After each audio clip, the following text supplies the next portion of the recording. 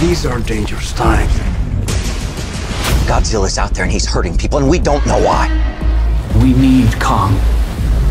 The world needs him. Stop what's coming. Through the entrance in Antarctica, we could help him find a new home.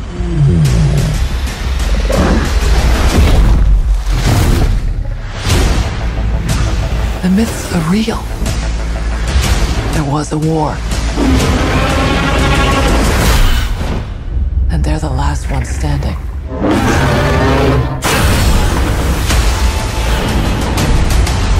Who bows to who? Kong bows to no one.